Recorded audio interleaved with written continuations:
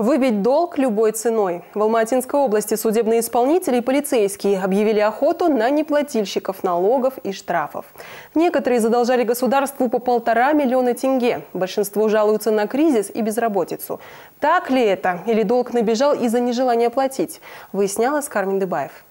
Почему не известили меня? Почему, Почему под роспись не дали? Это традиционная отговорка всех неплательщиков. Не знать о долгах в полтора миллиона тенге почти невозможно, уверяют стражу порядка.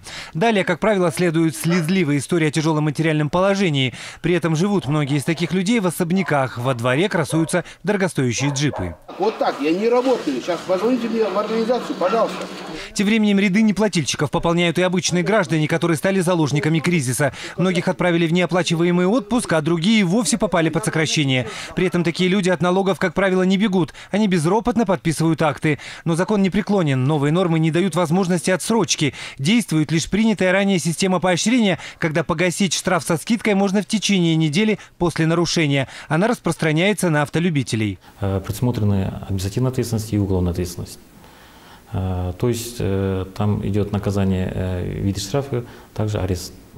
Должник злостно уклоняется от уплаты административного штрафа, к нему применяется уголовное наказание. Метод выявления должников прямо на дорогах внедрен не так давно. Есть и такие, которые узнают о наличии штрафа прямо на обочине. Такая встряска помогает значительно увеличить госбюджет, говорят представители закона. Однако с таким положением дел согласны не все.